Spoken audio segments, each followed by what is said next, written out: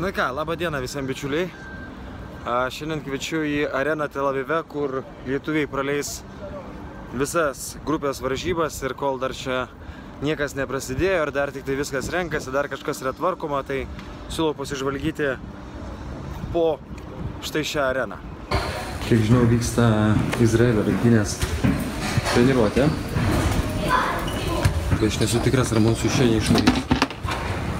Bet jeigu neišvarys, taip pat mes turime visą didelę aikštę, treniruojasi Izraelis šiuo metu.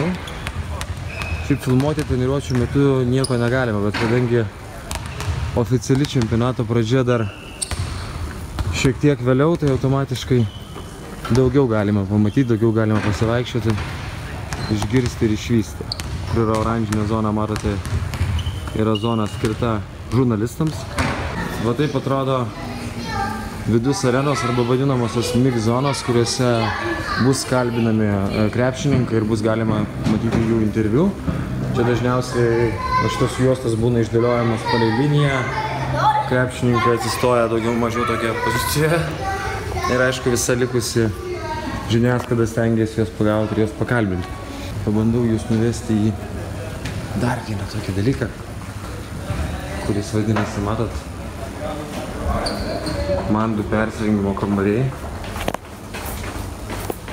Abejoju, ar čia mūsų nesustabdys. Mums apie gali sustabdyti.